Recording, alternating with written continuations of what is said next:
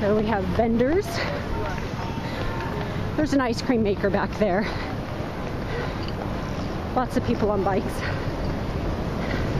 Uh, if you need candy, soft drink for your run, and of course, city buses. So they have the walkers walking before the 10K people.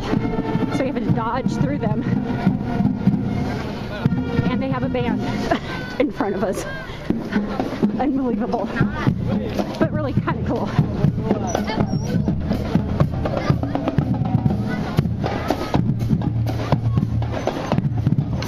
Notice the girls, most of them are veiled. Hijab. So they're holding the traffic for us. They're not happy.